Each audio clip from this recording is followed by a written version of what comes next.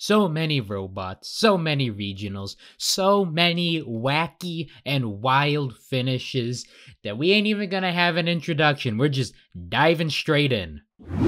A nail biter to kick off week three because these events just want to give me too much to talk about.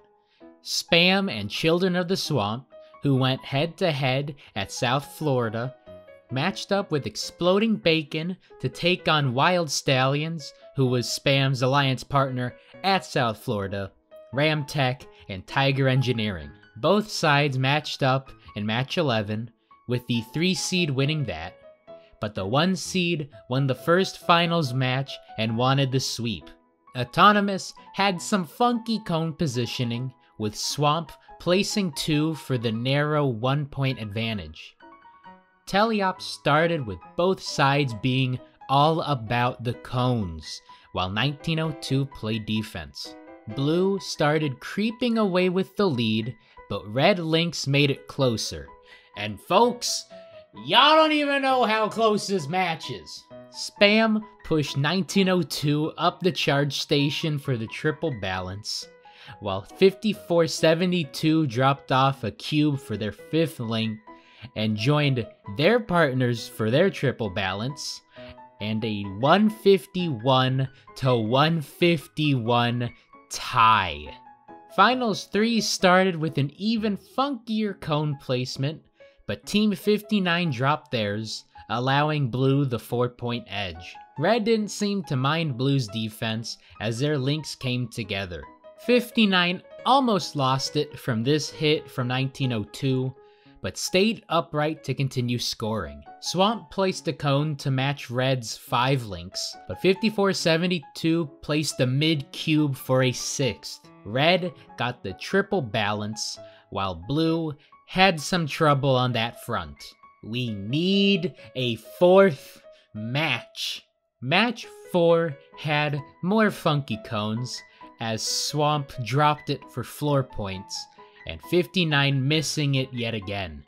Blue had a one point lead, but they worked on growing it with links, only for Red to match. 1902's defense disrupted Red's scoring as the other blue bots raced to put pieces in place. Enter 5472 with a bold strategy. You can't have a defense bot if you don't have a defense bot. With 1902 sunny side up, this match looked like it was over easy. Red got the triple, while Spam dropped off a sixth link before the double balance. Another close match, but the 12 point tech foul gave Blue the regional win.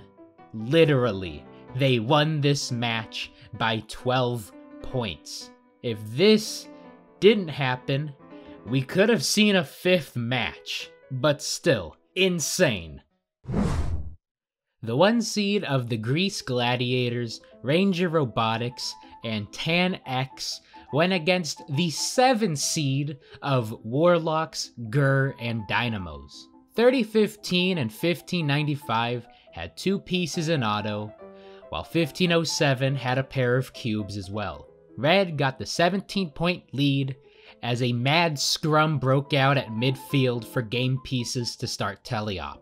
3015 got a cone for their first link of the match, and 1591 switched between defense and offense. Red played some absolute shutdown D to help grow their lead. 1507 took a bad angle while going for a cube and ended up out of commission.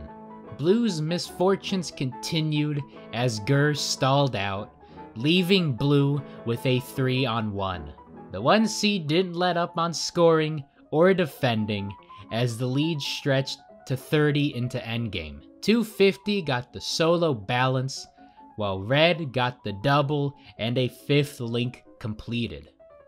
A wire to wire match, and Red came away with the 138 to 75 win.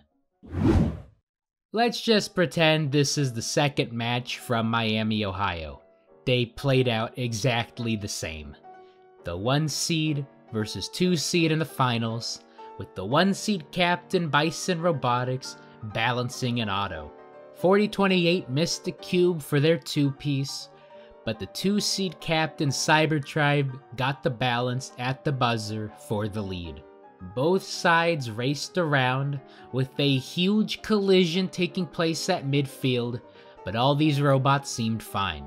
Blue's defense seemed to slow Red down, and they had a 28 point lead into the last 30 seconds. Red got the triple balance, while Blue got a visit from the letter F. A close match, match 2 was even closer, but those grid points helped give the one seed the win. The one seed of Argos and Mars Wars, who we saw play against each other in St. Louis, took on the two seed of Rush and the Roboteers. Red had the advantage and Blue wanted a tiebreaker. Both sides had pretty similar autos and went into Teleop tied at 36. The Roboteers put up a link and then got met with Control Z's defense. Blue had the small lead, but Red's links gave them the edge. Blue couldn't keep up with Red's cycles as Mars and Argos put up even more links. Red got the triple balance while Blue wobbled and bobbled, and Roaring Robotics got bucked off the station. Phenomenal showing by the one seeded Alliance, who came away with the 40 point win. The one seed of Bronco Bots, Blaze Robotics, and The Law took on the two seed of Ravonics, Team Driven, and SWAT. 1987 had a cool 3 piece auto as 3187 balanced, and 2457 chug a lugged for mobility points. 1730 had a two piece and balance for blue, but red came out of auto with the one point edge. 2457 started defending pieces and the blue bots, while Bronco bots put up pieces for links. Blue had a narrow lead as 3184 had connection trouble, but they came to life to help with scoring. 1730 and 1710 kept links coming as this one could go either way. Five links apiece as red neither wobbled nor bobbled for their triple, but blue had issues with getting all three robots set. And if only, if only, as red escapes with the 18 point win. The debut of the Magnolia Regional and Laurel, Mississippi saw the one seed of Wildcat Robotics, Ramageddon Robotics, and Boolabots, who subbed in for Spartabot, go against the 8 seed of MechTech, Team Combustion, and Team Fusion. The 1 seed beat the 8 seed to start the playoffs, but the 8 seed came away with the 11 point win in Finals 1 and looked for the upset here.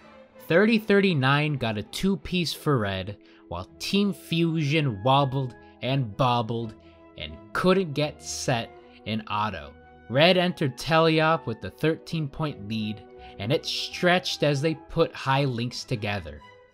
1912 played defense for blue, while 3753 did the same for red, with this hit causing Mech Tech to fumble a cone. Blue got a triple balance, while Red just got two, but came away with the imposing 38 point win to force a tiebreaker. This time around, 30 39 missed a cube in auto, while Fusion couldn't get the balance again. Blue still came out of auto with the lead, but 4336's quick links started putting Red ahead.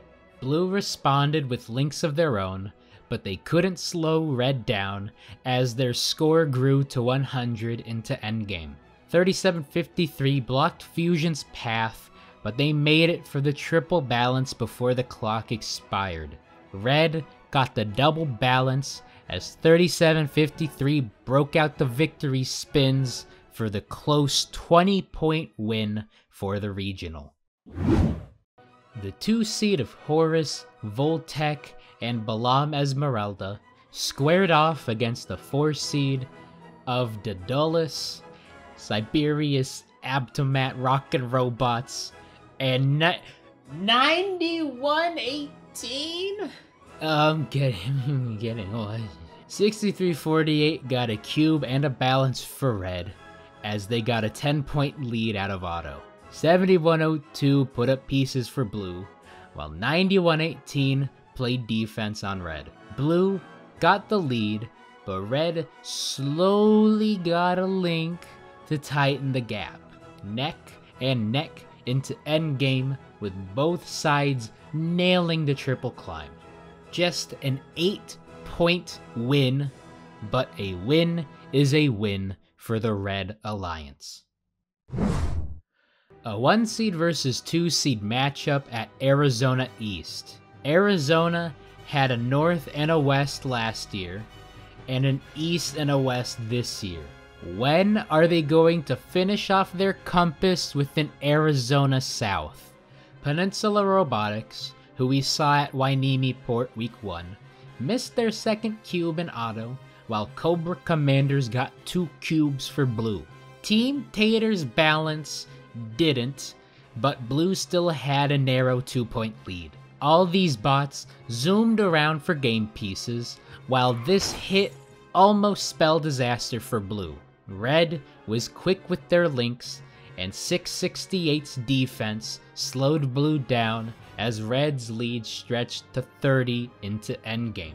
Peninsula and Robo Warriors were far from done, placing 4th and 5th links before easing up on the station for the triple balance and the regional win. The two seed of Tribe Robotics, Beach Cities Robotics, and Omnicats took on the one seed of the Nerd Herd, Phoenix Robotics, and the Robot Dolphins from Outer Space. You cannot make these names up if you tried. Blue won the first match after Red's captain took the world's longest F to start tally up in match 1. In match 2, 5199 missed a cube, as 294's two piece gave Blue a 10 point lead. Both sides placed cubes as defense got played in the middle. Neck and neck as 687 dropped off a cube for a fifth link and Blue wobbled and bobbled and slowly got the letter F. We need a third match. The tiebreaker had Blue with another 10 point lead in auto, and all bots pushing and shoving for control of pieces. Another neck and neck match as each alliance put up link after link into endgame. Red got the triple balance, while 294 got a fifth link for blue. Their bots wobbled and bobbled, but 1452 once again couldn't get up there. And if only, if only, as the one seeded alliance took the regional by 9 points. These California regionals have been giving me so much to talk about. There is a reason this is the last regional.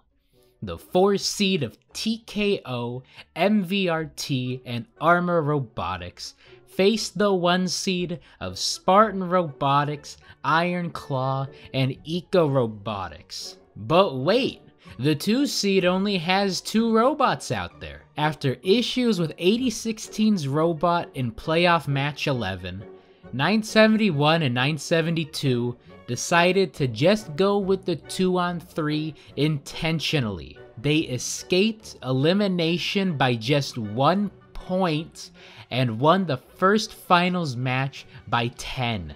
971's high cone went low, but their cubes and balance helped tie things at 34 in auto.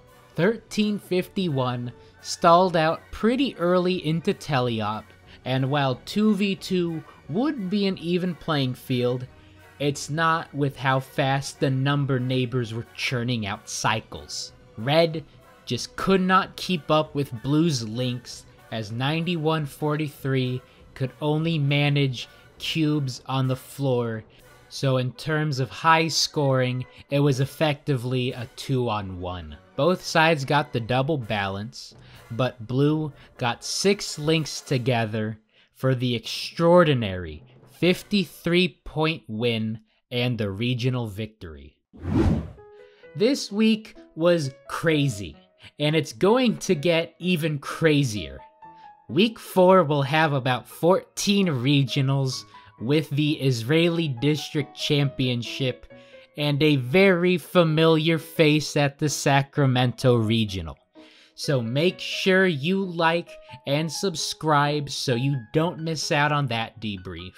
I will see you next week. So until then, have fun, stay safe, and remember gracious in victory, professional in defeat. Amen.